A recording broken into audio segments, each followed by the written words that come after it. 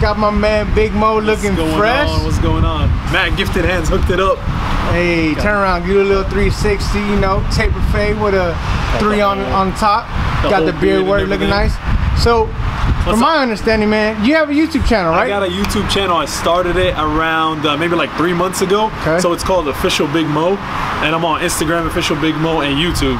And my wife kind of helped me, you know, build it up. So Give it's her a good. shout out as well, Her, too, her, her name is Omaya Zein. If you go on my stuff, you'll see her too. So you know why he goes. You know why he goes by Big Moe? Because look, I'm like two feet uh, to this dude, man. How tall are you? I'm like five foot nine on a good day. I'm, I'm six six, so it's, On, it's on a good a day. little bit, yeah. Almost at the door. The door is like six eight.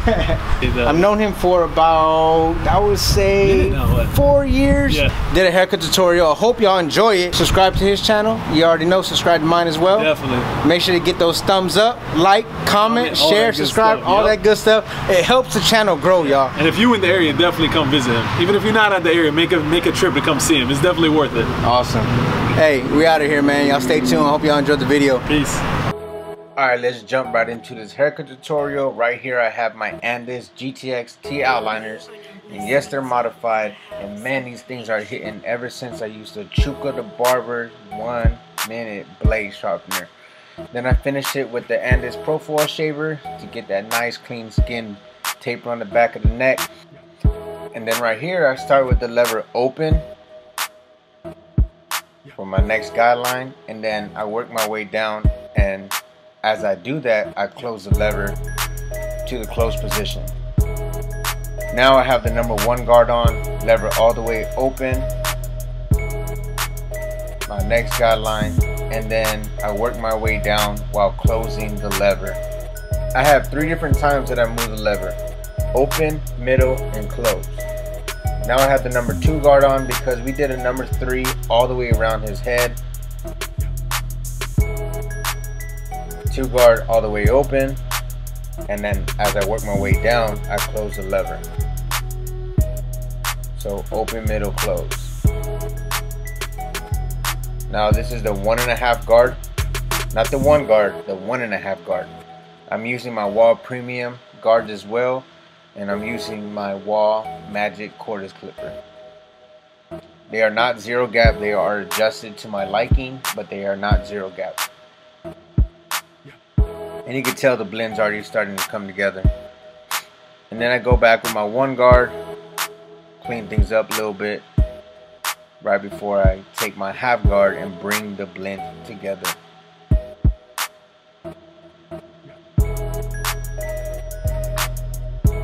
Here it is, the half guard or 1 16th or zero guard, depending on what system you use.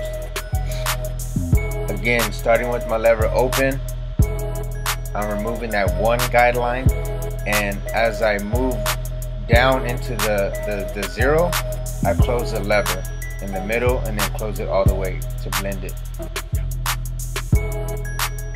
so the reason why I always start with the lever open is because can always take hair off you can't put it back on so starting with the lever open is basically like your safety point um, if you start with it closed you may create yourself a guideline that you can't get out Alright, so now we're going to start on the side, the side taper, temple taper, whatever you want to call it.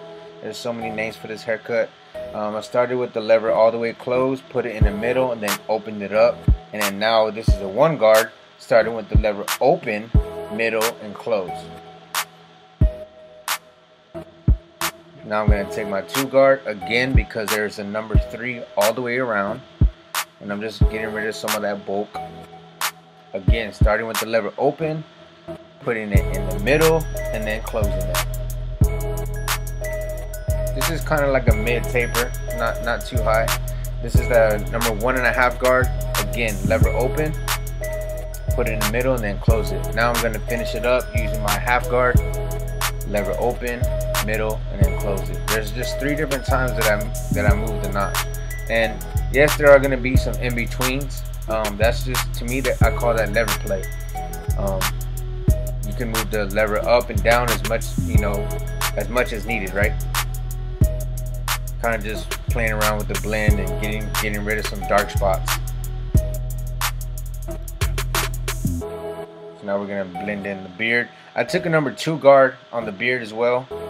Um, he wanted it to be pretty low. And make sure you subscribe to my boy, man, Official Big Moe. He started three months ago. I, I remember when I started, you know, I, you know, where I'm at now, I'm, I'm definitely not satisfied, but I'm just saying, like, you know, about a year ago, I didn't have no subscribers, and with all the support from, from each and every one of y'all, man, thank you so much, but go show some love to my boy, Big Moe. You know, he has a dope he has a dope channel, man, and his wife um, is actually pretty known in the YouTube industry as well. She has about 187,000 subscribers. I believe she does like makeup tutorials and different kind of couple couple things that they that they do together, like vlogging and stuff. All right, so what you do to one side, you do to the other. Sorry, got off track. Um, just doing the same steps as we did to the other side.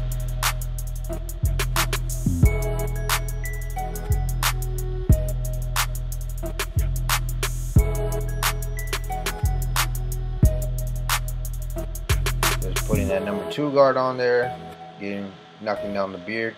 And then I'm gonna come back with my one guard lever closed, going with the grain on the mustache. Just because look how big that two guard is. There's no way that I can trim his mustache without the, the, the teeth to the uh, guard going up his nose. So, and you definitely don't want that. So, I tend to always get a smaller guard, but you know, like a one, but go with the grain, go downwards, and it trims it to you know just about the same amount uh, of the two guard. Right here, going with the grain. It's more comfortable on the client as well have them stretched down like that.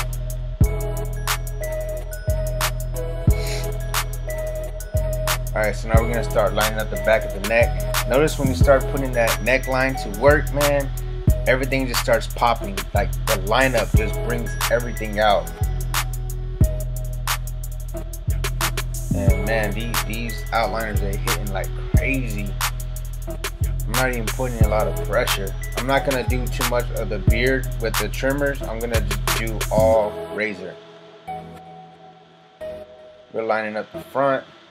And he doesn't have, you know, it's not gonna be like that crispy straight edge. Not everyone has a, a perfect edge, so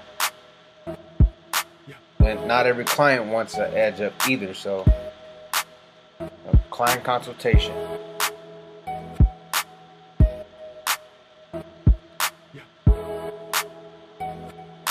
Yeah, I'm not even leaving his neck red or nothing. They're set pretty close and not zero gap, they're just adjusted. Like, if I zero gap them and I'm a heavy handed barber, I'll, man, I'll tear them up. There's no way that I can have a zero gap trimmer because I, I have a heavy hand. And it's not a bad thing, it's just you gotta adjust your trimmers and clippers um, to where you can cut with them and not mess anybody up. Alright, so now I'm to apply that Attune 45 shave gel, y'all. All the way around the, the, the, the beard line, the edge up, the mustache. Just rub it all in. Now we're to do some razor work. Making sure that I stretch the skin with the opposite hand. Going against the grain, across the grain. And wipe away all the like the excess gel or hair out of the way that way you can see that that line is actually there. And I did a zero right there at the taper and you can see that that line came out crispy. And I don't know man. I think this cut came out dope.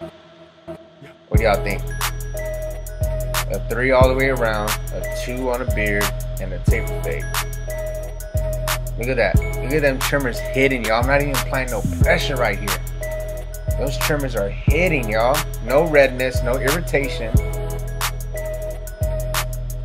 Look at that. That's without even a razor or the, uh, the foil shaver on the bottom. It already looks bald. Now we're gonna raise it the other side. I sped this side up just a tad bit.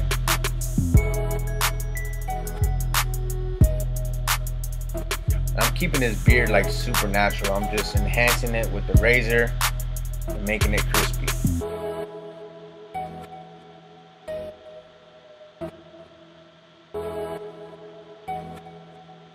After this, we're gonna hit it with the Andis Profile shaver to get it nice and skin tight on the bottom.